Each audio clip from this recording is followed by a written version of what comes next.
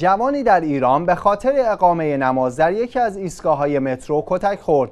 به گزارش شیورز نماینده شهرستان دشتستان استان بوشهر در مجلس ایران با انتقاد از عملکرد مسئولین مترو گفت اخیرا یک جوان به خاطر خواندن نماز در یکی از ایستگاه‌های مترو از سوی مسئولین مترو مورد ضرب و شتم قرار گرفت ابراهیم رضایی نماینده دشتستان در مجلس با بیان اینکه ظاهرا مسئولین مترو مخالف نماز خواندن مردم در مترو هستند.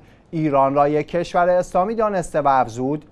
با این وجود شاهد هستیم یک جوان مؤمن 16 ساله به خاطر نماز خواندن در یکی از ایستگاه‌های مترو مورد ضرب و شتم قرار می‌گیرد.